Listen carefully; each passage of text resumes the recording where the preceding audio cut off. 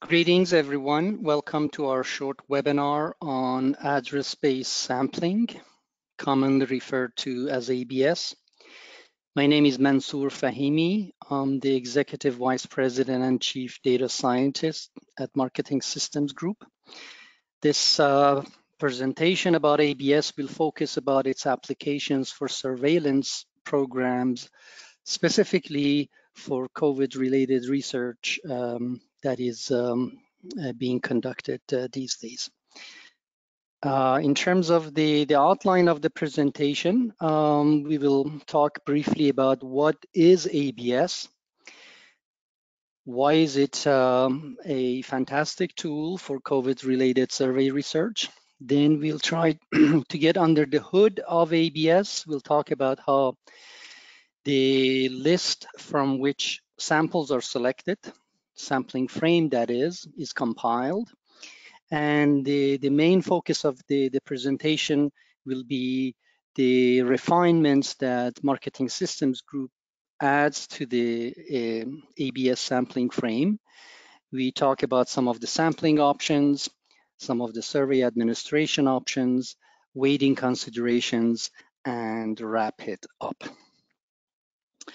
So what is ABS? As mentioned uh, at the beginning, ABS is address-based sampling, specifically using the delivery sequence file from the Postal Service.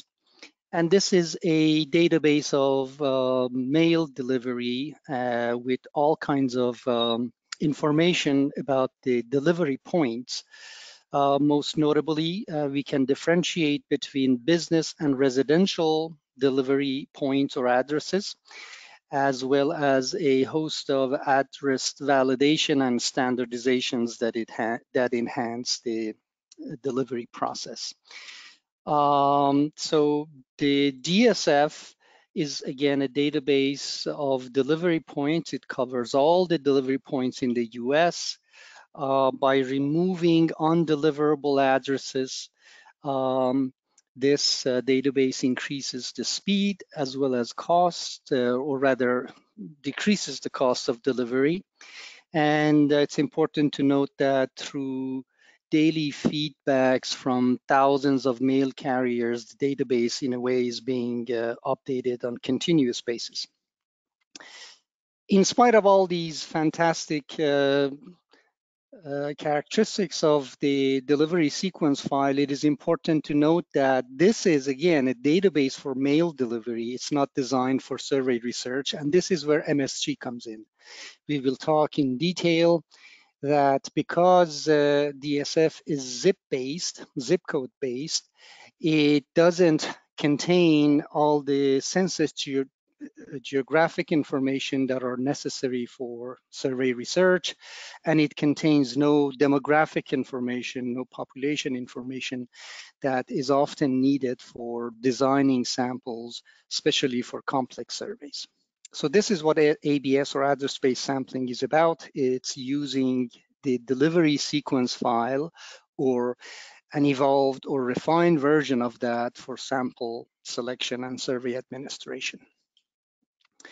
So why is uh, ABS um, uh, a, a, very um, suitable and effective uh, protocol for conducting COVID-related research? For a surveillance program to be scientific, it is critical for samples that are selected to have full coverage uh, of the geodemography of interest.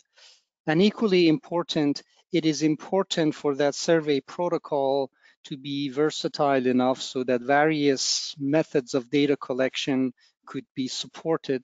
Uh, therefore, multi-mode has to be a part of the, the package uh, for conducting uh, successful surveillance programs. Uh, other survey methodologies may also be considered, but we know that more and more telephone-based methods have all kinds of coverage issues and um, online uh, options um, uh, also have issues because the available online panels are often fairly small in size. And the, the more important problem is that the, the, the majority of the panels out there um, do not provide uh, representative samples and therefore are void of representational properties that a scientific survey sampling program needs. And again, this this uh, issue, um, um, the problem of uh, having a sampling frame that provides complete coverage through the uh, delivery sequence file, MSG, um, um, through all the enhancements that it provides for DSF, as we will talk about it in more detail, evolves DSF into a bona fide sampling frame that would be suitable for um, conducting survey research. And this, this process uh, pivots on the initial step, which is MSG takes every single delivery point in the US, identifies the latitude and longitude, meaning geocodes each, each um, delivery point in the database. And once each address is geocoded, then a host of data from public and commercial sources, non-USPS that is, type data can be appended to the uh, ABS frame to again to make it uh, suitable for um, complex surveys. And as a result of all the appendages that MSG provides, then one can have uh, near surgical precision for sampling specific and rare subgroups. Uh, all the data that will be available for the entire frame, which means that as far as surveys are concerned for both respondents and non-respondents of the survey can be used for nuanced non-response adjustment uh, which is becoming more and more important as response rates um, are diminishing these days.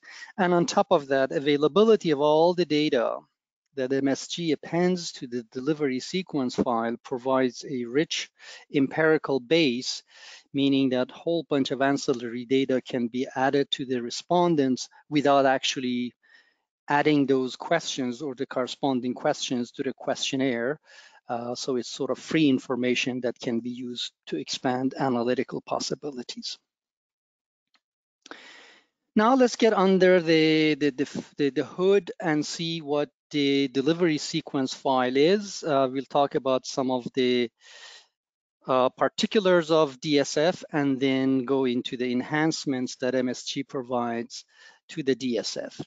Uh, so again, DSF is a database of mail delivery that includes every single delivery points in the US. It is LACS and CASS certified, meaning locatable address conversion and coding accuracy support systems are applied. Uh, that, and all these improve delivery and reduce uh, mailing costs. Uh, there is also a supplementary database from the USPS called NoStat file. Think of it as a drawer where you toss in a hodgepodge of stuff um, that sometimes we tap into. This um, supplementary database includes information such as new addresses that or new housing units that are, have not started receiving mail yet. It may have some information about vacant units beyond what is available directly in the delivery sequence file. And then it also may have some additional information about drop points, which is a delivery type, which uh, that we'll be talking about shortly. And it's also important to note that some of the uh, some of those who have old understanding of ABS may criticize this methodology, saying that there are simplified addresses. These are addresses that are void of delivery information and hence can be considered as a uh, ding against ABS, but it's important to note that while a decade ago, there were millions of these simplified addresses, uh, uh, ad these addresses are now a thing of the past. There are only uh, a few thousands of such delivery units, and they are rapidly diminishing because of the law for converting all addresses uh, to to have a um, standard format for 911 emergency services. And on top of that, MSG taps into several commercial databases and finds the, the, the full delivery information for some of these uh, simplified addresses. But bottom line, it's a negligible chunk accounting for uh, a fraction of 1% of total delivery points. And again, it is diminishing rapidly. Uh, in terms of address classification, um, the, the DSF identifies each address or each delivery point to a particular type. There are businesses, which again are eliminated from general population surveys. There are addresses labeled as central. These are delivery points that receive mail at a centralized location. Uh, there are some private or commercial uh, agencies that uh, operate on behalf of um, households for receiving and delivering mail. There are curbside deliveries, which is perhaps the most standard where mail is delivered at the curb. Uh, there are drops. Drops are, think of it as some of the gated communities where the address or the delivery information is available to the USPS up to the gate, but the specific units behind the gate, uh, the, the, the, the, specific informations are unavailable. This is um, not the case for all gated, gated communities, uh, but for some, we have only information up to the gate. But as we will talk shortly, MSG has a way of resolving some of these uh, uh, hard to deliver units. Uh, there are educational units. These are colleges, dormitories, uh, fraternities, and buildings that are um, uh, primarily occupied by students. There are seasonal units for snowbirds, units that uh, are occupied part of the year and um, do not receive mail during some other parts of the, the year. There are throwback uh, bags. These are um, delivery um, uh, points, a regular street address-based uh, delivery point, but the, the mail is uh, delivered to a PO box at the uh, request of the recipient. And then there are also vacant um, units. These are units that have been uh, vacant for over 90 days, and we typically exclude these when it comes to selection of the A sample from a um, ABS frame. Uh, here you see some counts for these various uh, delivery points collectively, there are about uh, 145, call it, a million delivery points in the US. The majority are the, the standard format city style.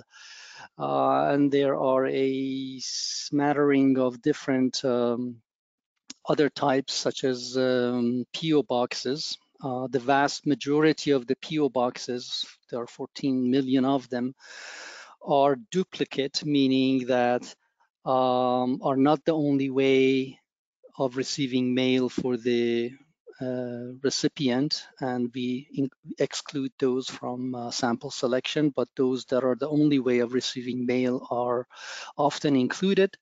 Uh, there are seasonal counts, educational counts, so on and so forth back to the drop units. So there are about 700,000 drop points. These are, again, think of it as gated communities. Not all of these are gated communities, but that's an easy example to relate to. So there are about 713 of these, uh, 713,000 of these uh, that um, account for over 2 million units. Uh, some of these uh, undeliverable units within drop points uh, are um, augmented by MSG, resolved by MSG, and then there are simplified addresses again that MSG um, identifies its exact delivery uh, by reaching into various databases that we work with. Uh, let's talk uh, about some of the USPS trivia before we get to um, the, the, the, census um, geographic delineations, which is what surveys are often designed around. So zip code, which um, um, you may not know what it exa uh, exactly stands for. It is sta it stands for Zone Improvement Plan. Obviously, a five-digit code that identifies a, ge a geographic delivery area and sometimes a single building or a company with high mail volume. And then on top of the zip, the five digit zip, of course, we have the, the additional or the add-on four plus units the first two digits of the four plus add-on represents the zip sector, which is a smaller geographic area within a zip code, uh, such as uh, several blocks uh, or um, group of streets. And the last two digits of the zip plus four add-on is the zip segment, which typically uh, represents uh, smaller geographic areas within a zip sector, such as one floor of a large building or one side of the street. Again, for your USPS trivia, um, there are over 41,000 zip codes. Uh, the majority are general type um, zip codes, and then um, there are also PO box zip codes, military zip codes, and business zip codes. In terms of the population, um, uh, back in 2000, the average population size for a zip code was about 67, 6,800. Uh, and as you see, this number has been increasing, obviously, as the population increases.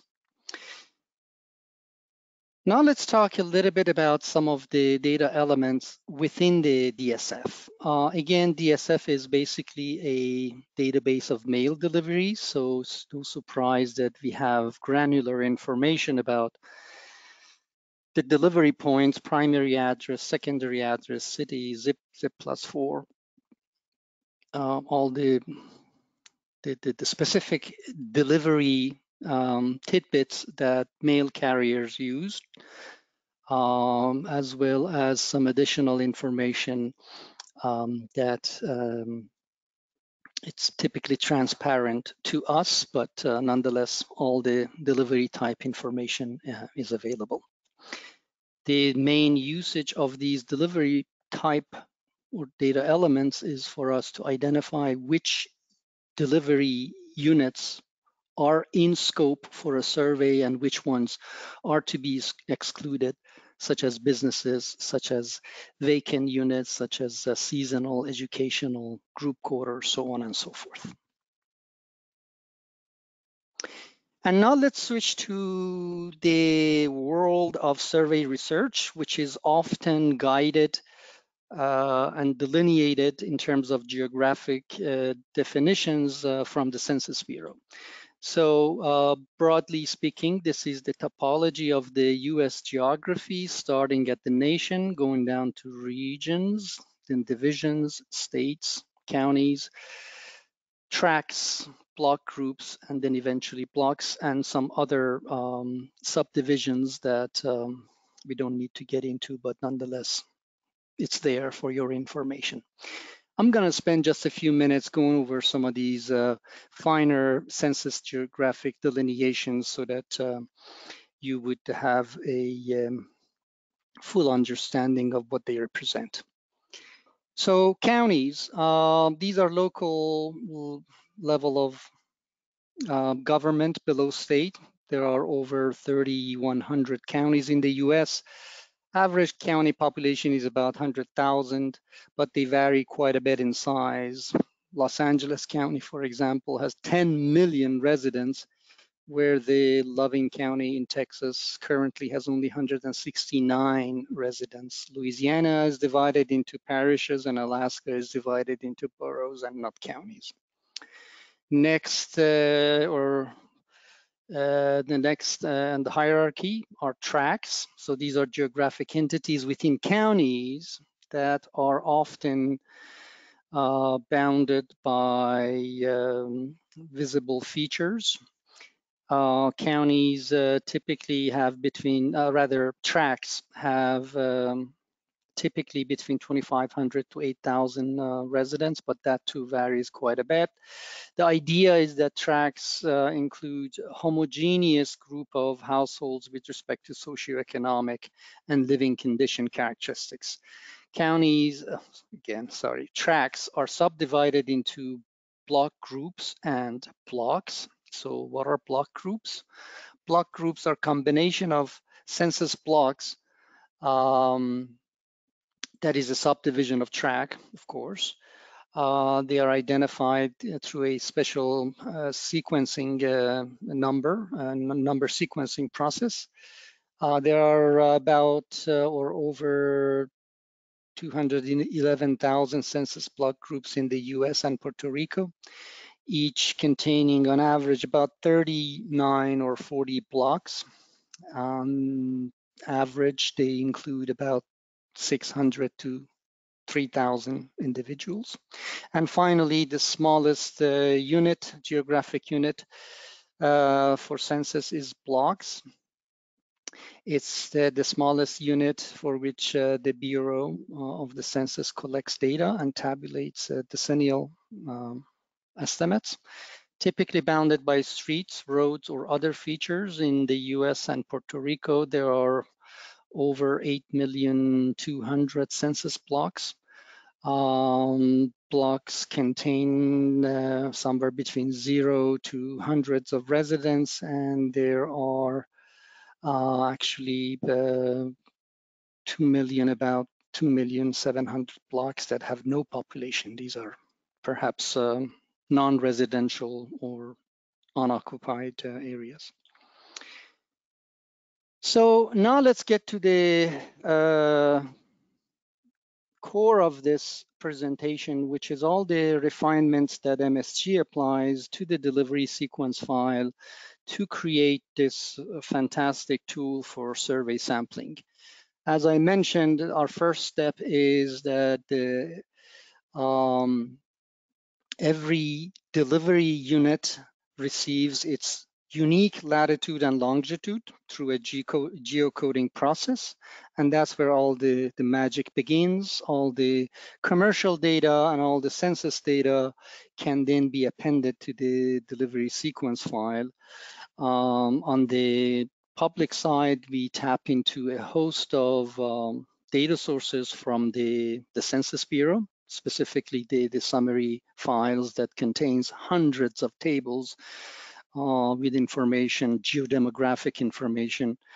Uh, we also use some of the survey data that um, uh, is conducted by the census, such as the American Community Survey or the Current Population Survey. These uh, provide information at the various levels of geography. In particular, ACS, um, it's a large survey uh, especially when we take the five-year aggregate, we can um, obtain information at the census block group level and append it to addresses within the corresponding CBGs. And of course, a host of uh, commercial databases. These are just a few Experian, Acxiom, InfoUSA, Neustar, so on and so forth.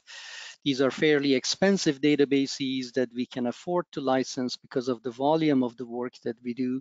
And they provide customized geodemographic information beyond what is available from the Census Bureau.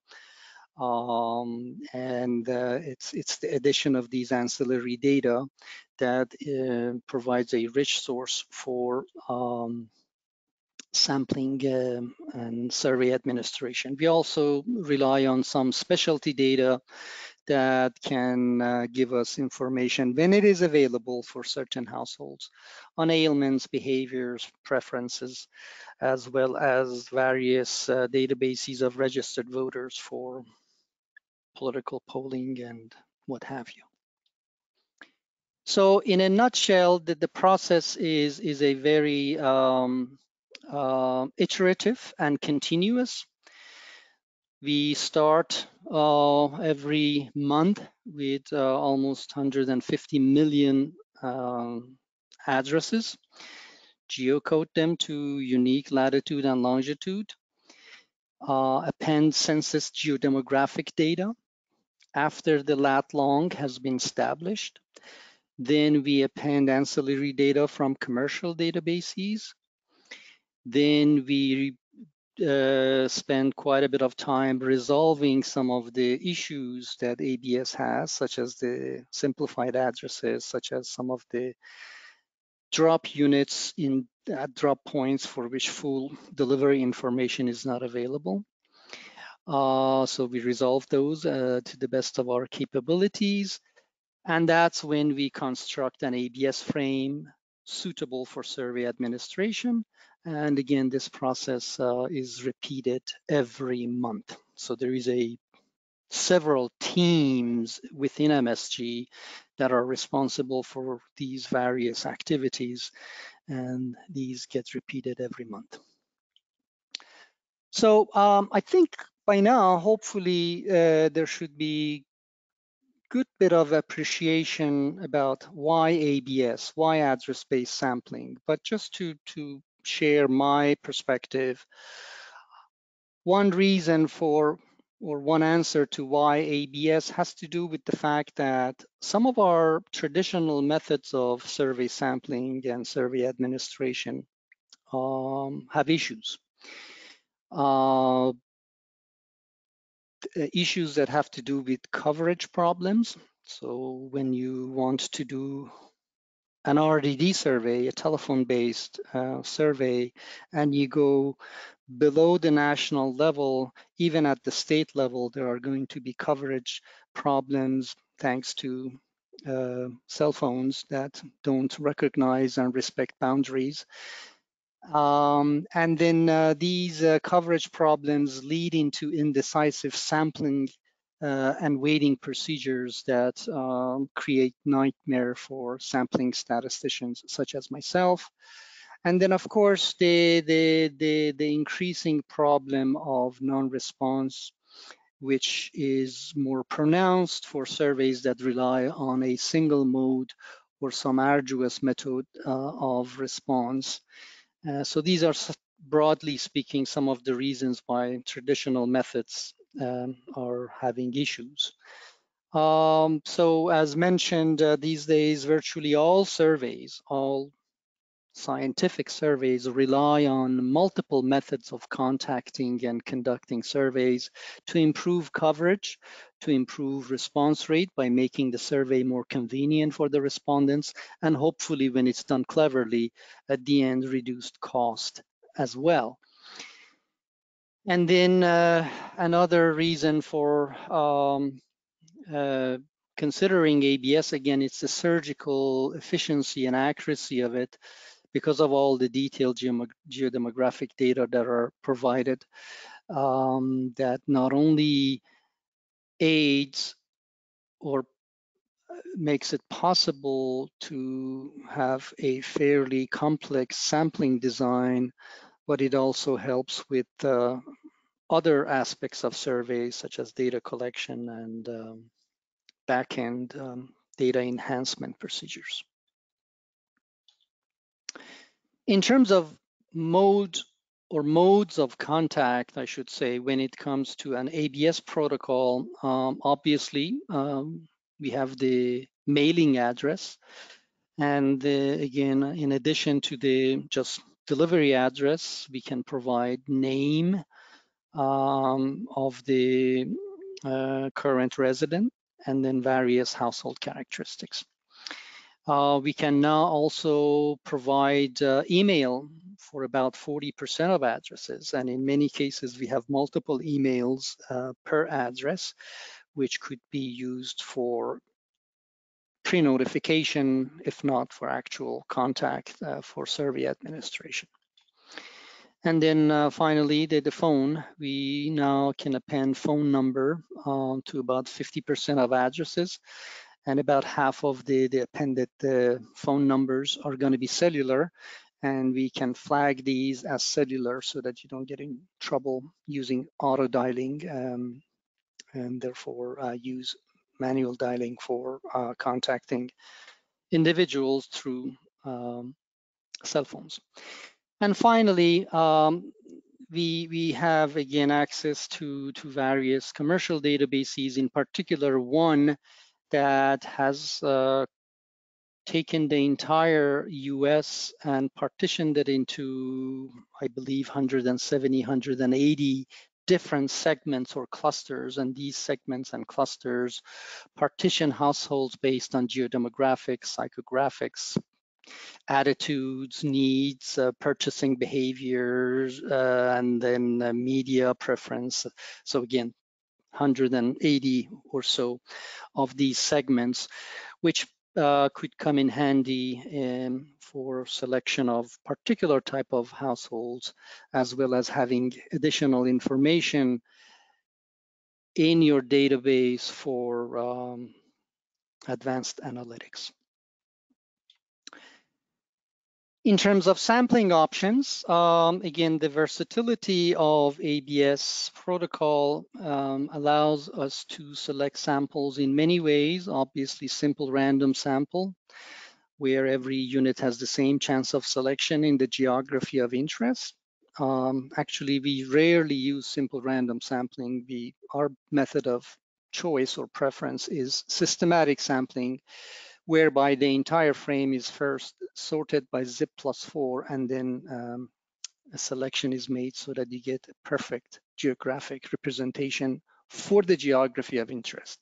And of course, we can uh, support uh, stratified designs that are based on geography, demography, and various ancillary data, as well as you know behavioral uh, indicators such as if you want to oversample households deemed to have a smoker or households that have a registered voter and uh, various purchase and preference indicators, we can accommodate uh, any type of um, stratified design.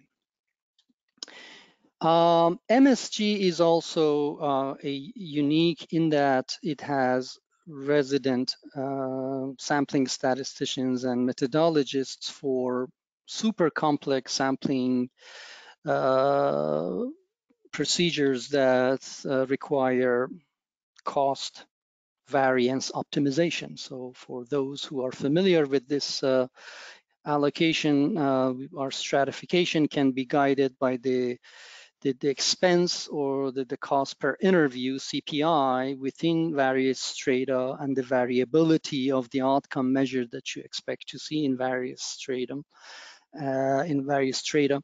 And then, uh, of course, uh, depending on simplifying assumptions that can be made, for example, if cost and variability are the same across strata, this, this allocation becomes a simple allocation as a function of size of the, the, the strata or the, the cost could be the same, yet the, the variability is different, and therefore we go to this allocation model. Conversely, when, when variability is the same, but it is the cost in, in different strata that uh, drives the total budget, and then we go to this model for allocation. The point being that um, we are not simply a list vendor, a sample vendor. We can support you with, with all sorts of complex sampling needs as well as post-survey uh, data uh, enhancement procedures such as weighting, imputation of missing data, as well as advanced analytics, which when you work with survey data, data that carry weights requires special skills and know-how uh, and uh, special procedures that should be used um, for proper estimation. We are reaching the end of the presentation, so let me just quickly share with you a few um, survey administration options. Uh, there are obviously many different options, um, mostly um, follow a process similar to what's listed here. So we start with a sample of addresses. It's, it's a pretty well established fact that if you send some kind of notification card, you increase the, the, the, response rate. So under this, this option, uh, we can, uh, or you can start by calling for addresses that have been matched to a telephone. Those uh, who don't have a telephone match or remain as non-respondents can then be contacted through mail and various refusal conversion um, procedures could be applied post the, the, the, mail out to get to the number of completed surveys that you uh, desire. A variation of this uh, is when uh, we start with the sample of addresses and instead of going, um, well, we do send a pre-notification card, but instead of going to phone as the first attempt, you have the initial mail out, then followed by phone when you have phone for the address, and then various uh, um, steps uh, to convert non-respondents, again, to increase response rate and um, um, get the number of surveys that you need. And finally, a, a more um, common approach these days is the so-called push to web, where you start with the ABS uh, list, send out the pre-notification, and then you send out the initial mail out. Uh, but immediately you suggest uh, contacted uh, households to go to a specific website for partaking in the survey, or this could be done by phone. And it's after that uh, initial push to web, uh, because of its simplicity and cost saving features, that you would go to other um, uh, refusal conversion modes in order to increase response rate and uh, get as close to the number of surveys that you need. And of course, there are variations to this theme and um, depending on the, the budget and um, time constraints, um, these steps can be um, modified. Lastly, uh, in terms of weighting considerations, again, when I put my survey sampling hat on, I find this very appealing when it comes to ABS.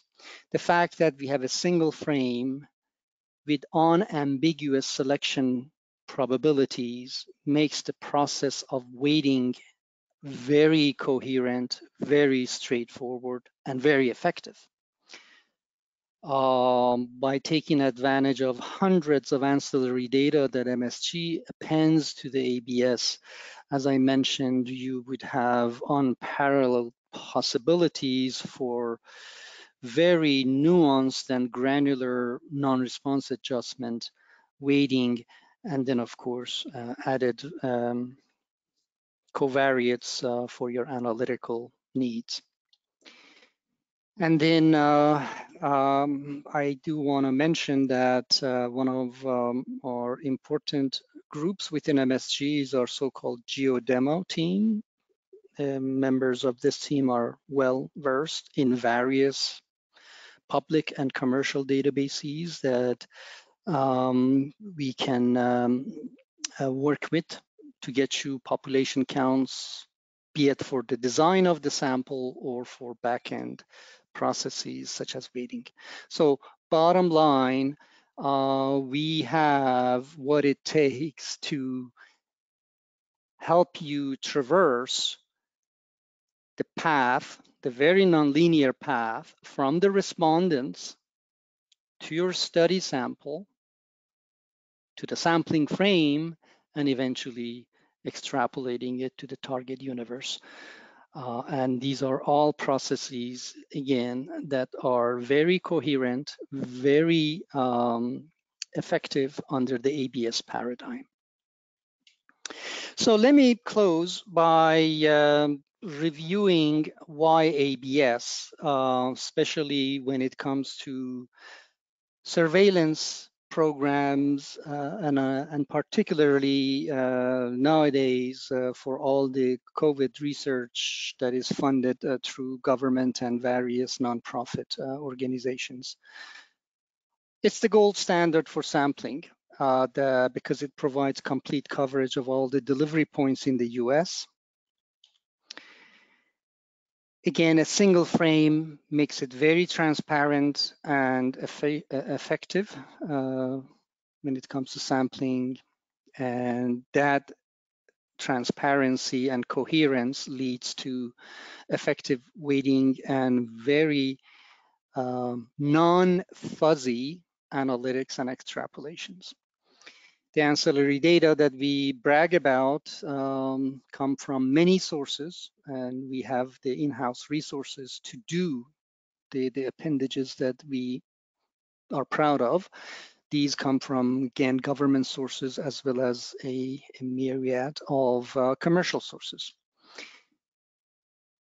And that's how enhanced address-based sampling frame becomes suitable for complex designs and it allows you to have very efficient sampling process for reaching rare subgroups or tiny geographies, something that is becoming virtually impossible through telephone method, for example.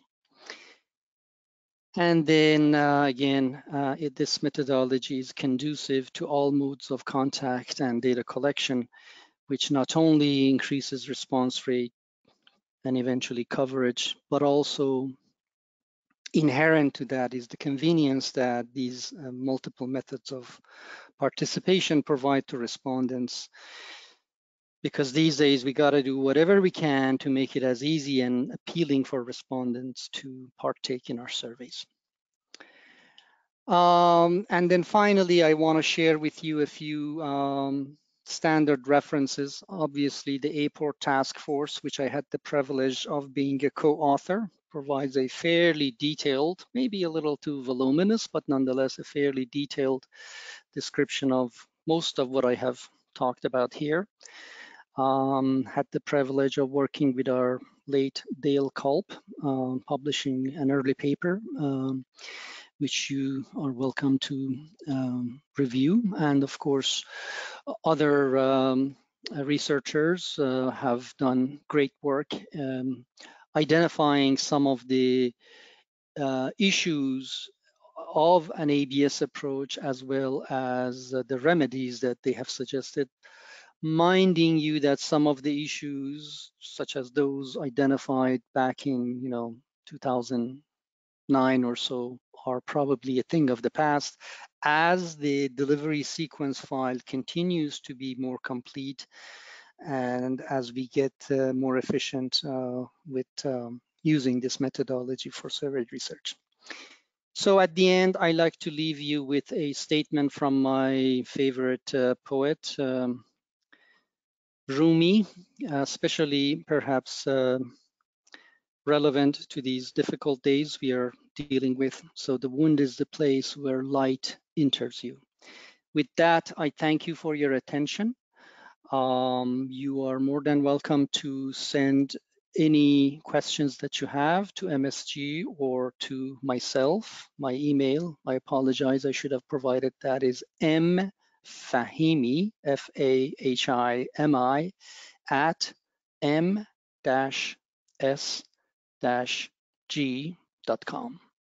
Thank you very much and hope to talk to you soon.